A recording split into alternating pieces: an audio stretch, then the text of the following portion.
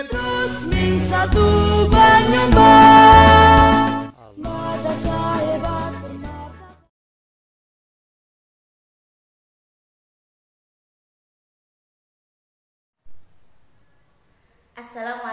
warahmatullahi wabarakatuh. Bagaimana kabarnya hari ini anak-anak? Mudah-mudahan kalian dalam keadaan yang sehat. Bersama Bu Hartati, kita akan melanjutkan mata pelajaran Akidah Akhlak. Pada pertemuan sebelumnya, kita telah belajar tentang sikap bersyukur.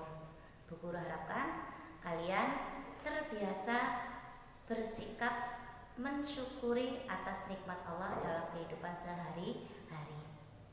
Nah, hari ini kita akan melanjutkan manfaat memiliki sikap bersyukur. Namun sebelumnya, mari kita awali dengan membaca basmalah bersama. Bismillahirrahmanirrahim. Anak-anakku yang guru manfaat memiliki sikap bersyukur.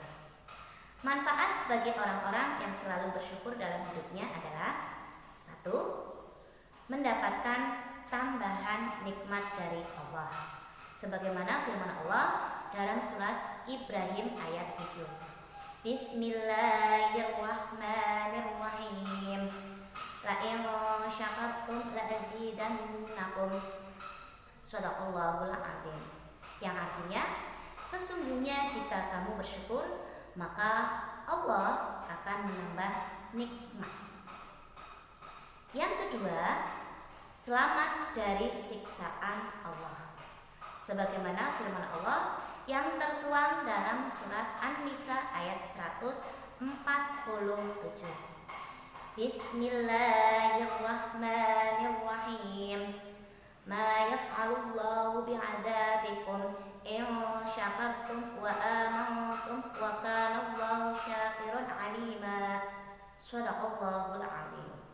Yang artinya, tidaklah Allah menyiksamu jika kamu bersyukur dan beriman.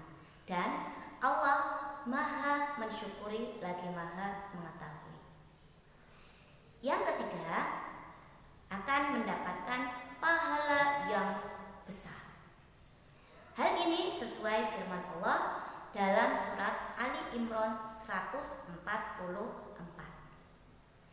Bismillahirrahmanirrahim. Wa sayajzillahu syakirin. Sadaqallahul azim yang artinya dan Allah akan memberikan ganjaran pahala bagi orang-orang yang bersyukur.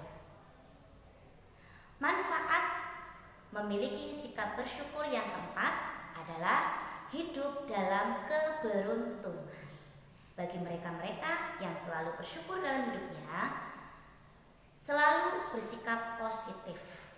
Orangnya akan senantiasa memiliki sikap positif di dalam setiap hal yang menimpanya, baik yang menyenangkan ataupun yang menyedihkan. Yang selanjutnya, nomor 5. Hidup dalam kebahagiaan. Menerima apa adanya dan bersyukur itu akan membuat orang menjalani hidupnya terasa lebih indah. Mengapa? Ya, betul. Karena tidak ada beban di dalam hidupnya. Walau kenyataan tidak seperti yang diimpikan. Orang yang bersyukur itu akan merasa berkecukupan dalam hidupnya. Karena itu, mereka selalu merasa bahagia karena yakin bahwa setiap apa yang dia peroleh itulah yang terbaik. Kemudian, yang keenam, manfaat memiliki sikap bersyukur, yaitu memiliki wibawa di mata orang lain. Lihat orang yang berbahagia, bukankah mereka adalah orang yang hidupnya penuh dengan kebaikan? Mereka memiliki wajah yang dihormati dan disayangi oleh banyak orang, karena wajah mereka dihiasi oleh senyum manis penuh bersyukur. Yang ketujuh, manfaat bagi orang yang senantiasa bersyukur dalam hidupnya adalah awet muda dan panjang umur. Biasanya orang yang bersyukur itu memiliki watak yang sabar.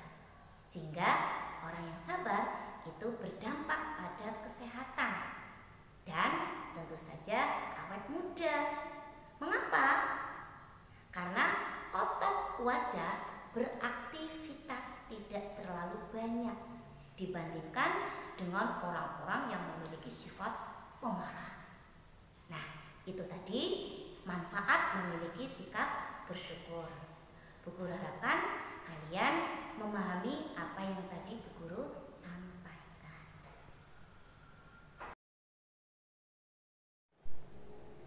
Anak-anakku, untuk lebih memahami apa yang tadi Bu Guru sampaikan, silakan kalian kerjakan kegiatan 2 dan 3 di modul kalian.